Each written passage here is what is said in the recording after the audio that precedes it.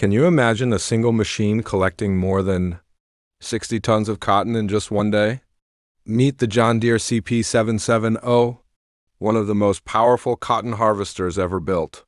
With 550 horsepower under the hood, this monster can keep working for over 10 hours straight without breaking a sweat.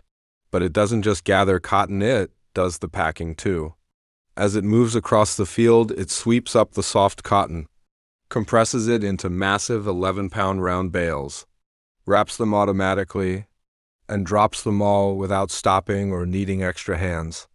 One operator, sitting in the high tech cab, controls everything with a touchscreen and GPS steering.